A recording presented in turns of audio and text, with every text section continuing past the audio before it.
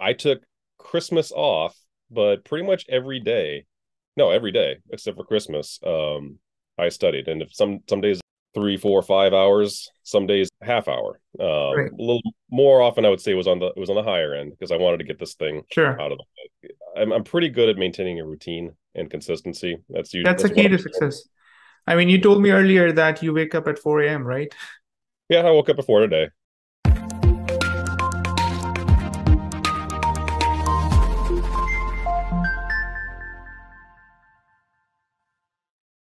Hi, Pat. Hey, Wasim. How's it going? Hey, not too shabby.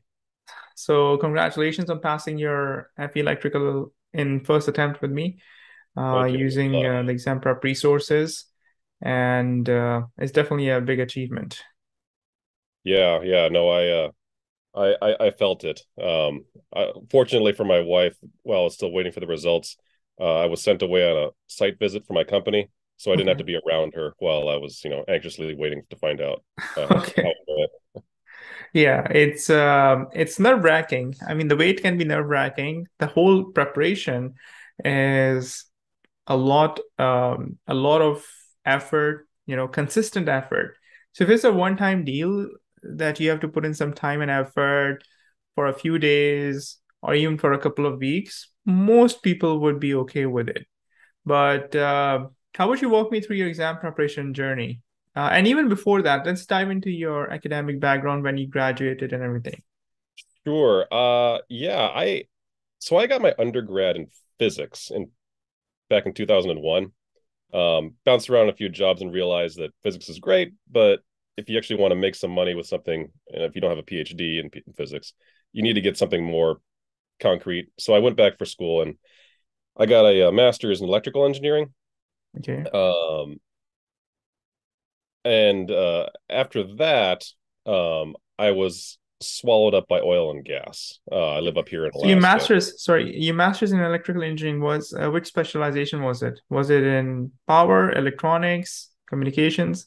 More electronics. My uh, at the time, I was actually uh, toying with the idea of going into biomedical engineering. Okay. And my particular advisor was heavily involved in SIDS, sudden infant death syndrome uh, okay. research. Yeah. And I was involved in a design for a, a wireless baby monitor, essentially. A, a detector, basically. Yeah. Uh-huh. Yeah. Pulse oximetry, heart rate, and all that kind of stuff. Um, but living up here in Alaska, um, you know, unless I wanted to move out, options were somewhat limited. Um, so when I finished up my degree, uh, I was swallowed up by an oil and gas service mm-hmm. company. Right. Um, and I never took the FE, let alone the PE, um, yeah. because um, to get to graduate with a master's in my school, they had like an internal um, review process that I had to study for, like an internal test. Okay. But the FE was never required because I got my undergrad in physics. Right. Um, and of course, with my job, they did, you know, they didn't care. Um, So I never bothered with the PE, never bothered with the FE. And then I did, I worked in the oil and gas field for about eight years in the field. Um, then I was brought in for management um, for another five years, where I was basically supervising the people I used to um, used to work alongside, and I did that for about five years until COVID wiped us out. Um, it was interesting, you know. One day you're in a safety meeting, and COVID is like bullet point number three on the safety uh, concerns, and then a month later we're talking about bringing our headcount down to zero. Wow. Uh, yeah.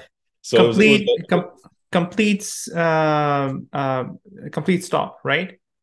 Yeah, uh, there was just too there was too many legal restrictions to send people oh, okay. the field with the um, distances and, and, everything.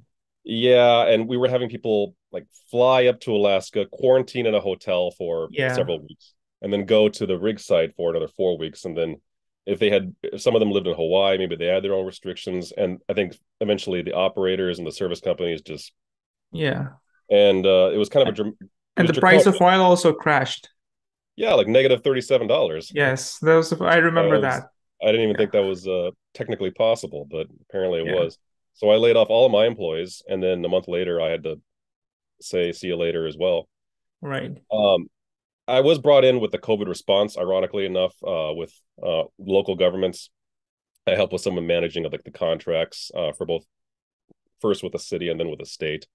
A lot of uh, grant management Um, that was never going to be permanent, but it was kind of a good a good experience, something to keep me occupied um, sure. while I was trying to figure out what to do with my life. And um, I think if anything, the big lesson I walked away from was I've become very leery of specialization, especially with, with something so niche, because right. what I the, the type of drilling technology that I operated on and and and, and managed uh, was a very s- small subsection of all of um, you know oil and gas. Right. Um, and I think what I wanted was something something that you know if if one particular industry was to go belly up, yeah. Um, you know, I would have you know other options, and I did find that. I'm with an engineering firm now, and they do yeah.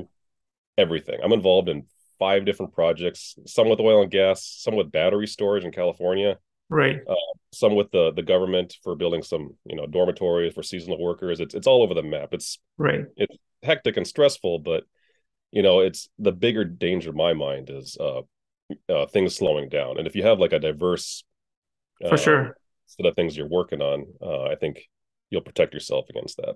Yeah. So how does AFE fit in the whole picture then? Yeah. So uh my my engineering firm I work uh, with is uh you know they're they're you know becoming an engineer and getting your PE license is sort of an expectation, especially for pulling someone in like me. Um right. and so you know talking with uh my supervisor, you know, kind of talking about what what would bringing someone like at my level look like since you know I have all this maybe management experience and some other niche uh, technical experience. What would that look like to bring me on? And I think we had sort of a rough tentative agreement. Said, all right, well, why don't we start with your your FE since you, you never got that? Mm-hmm. Uh, why don't you try to get that knocked out within a year?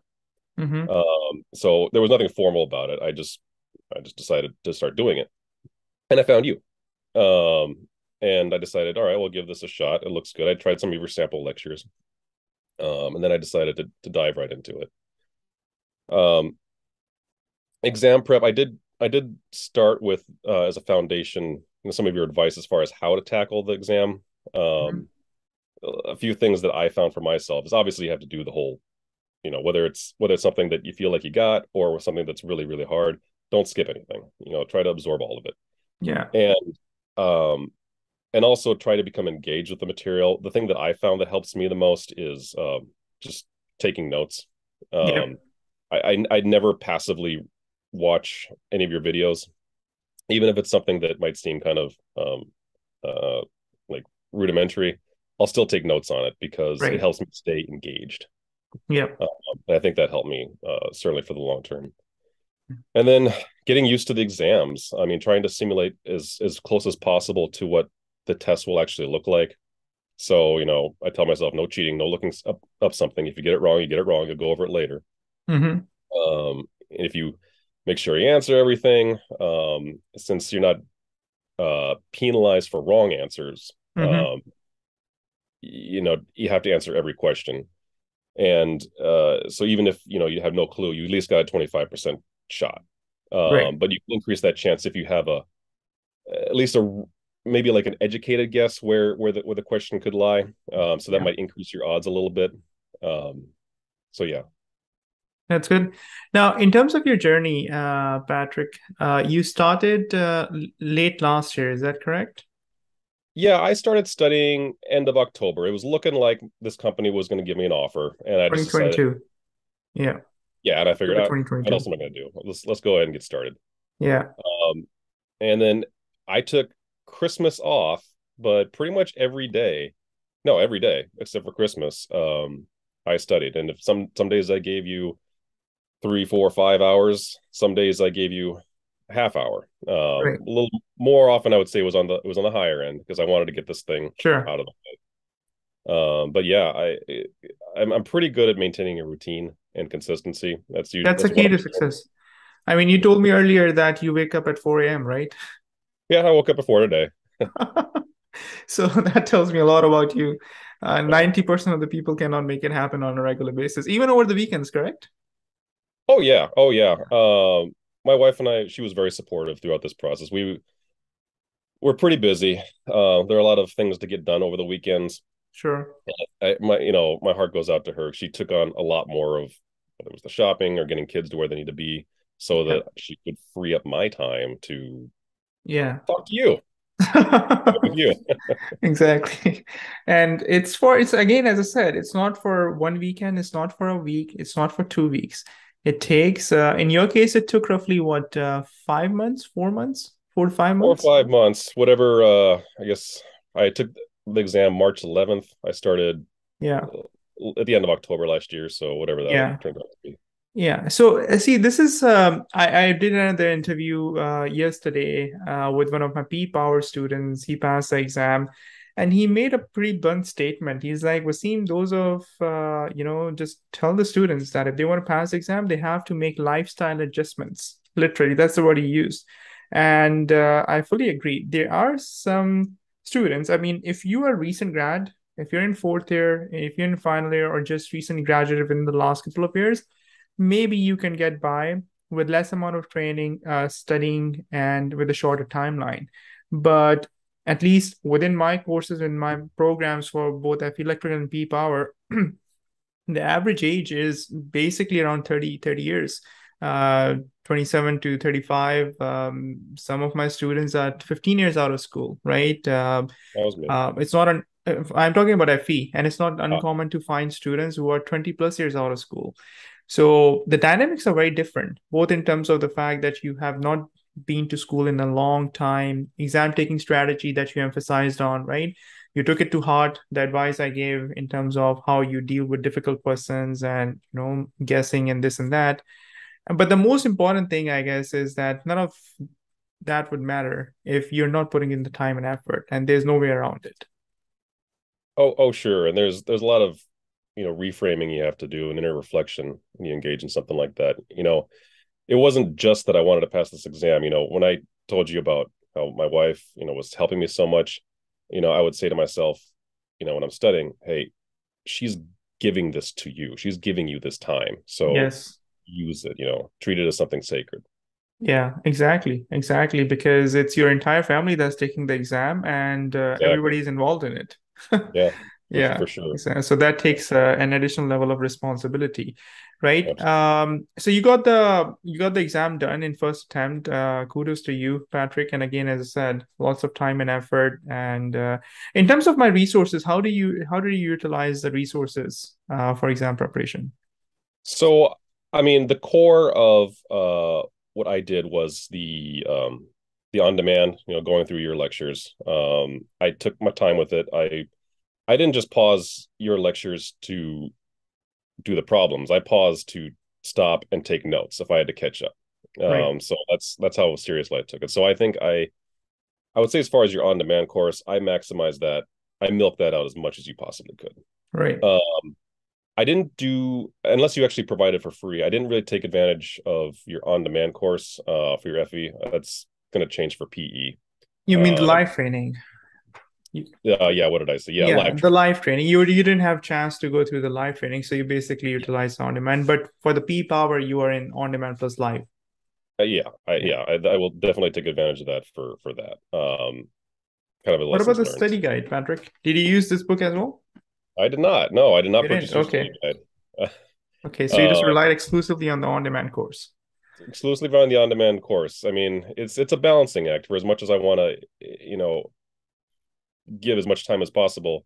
There's so many hours I'm awake during the day. You know, yeah. Uh, I got a full time job that's probably more than full time. I I work usually more than eight hours a, a day. Right.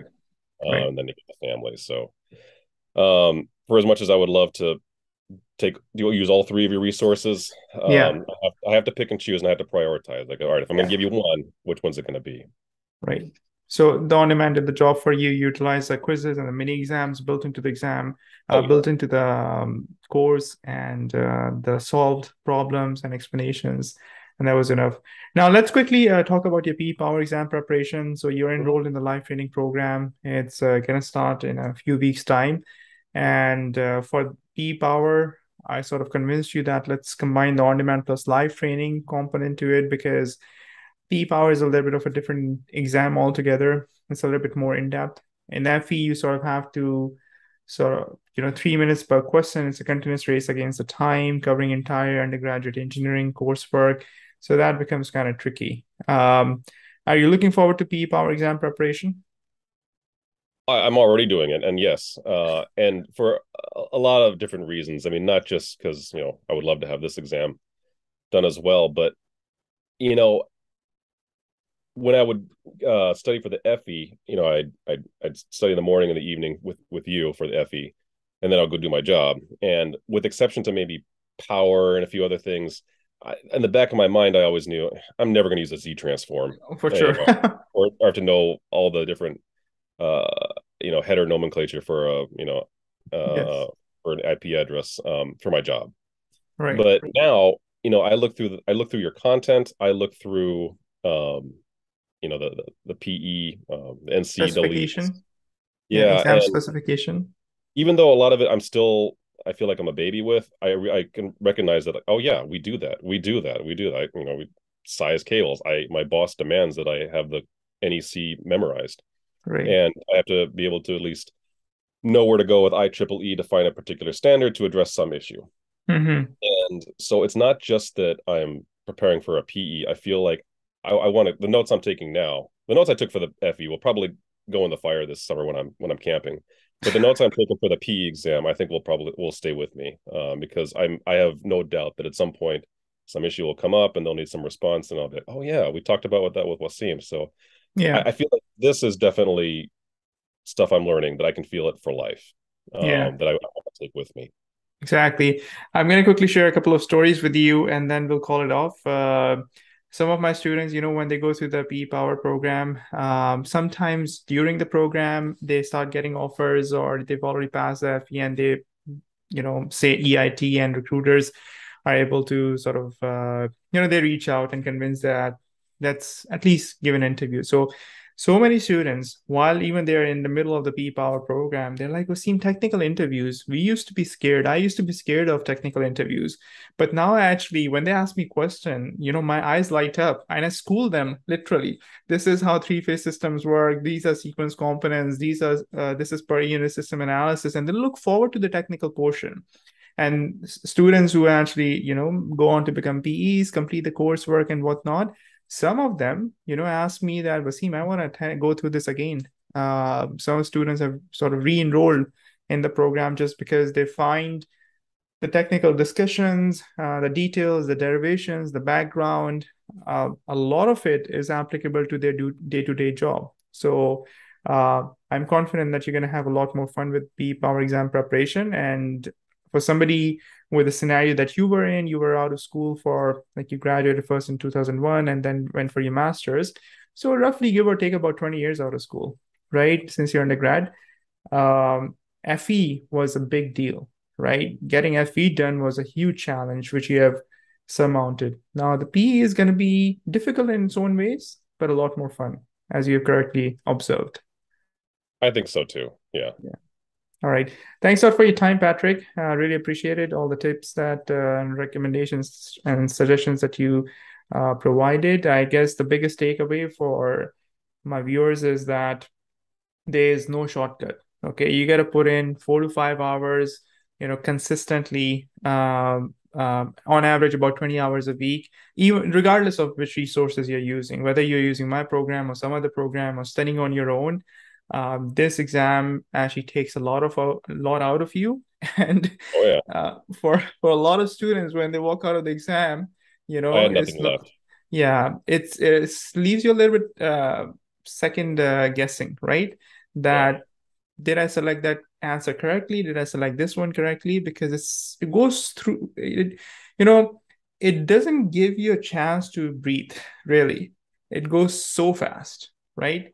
Um, so the best you can do is really put put your best foot forward and realize that you're in it for the long haul for in terms of matter of months not a few weeks to get this thing done. Yeah it's you, you have to yeah you have to do it. I mean you have to go all in or it's or nothing. Exactly. Awesome. Thanks a lot patrick. Really appreciate it. Take care wasim. We'll be talking with you lots. Likewise. Thank you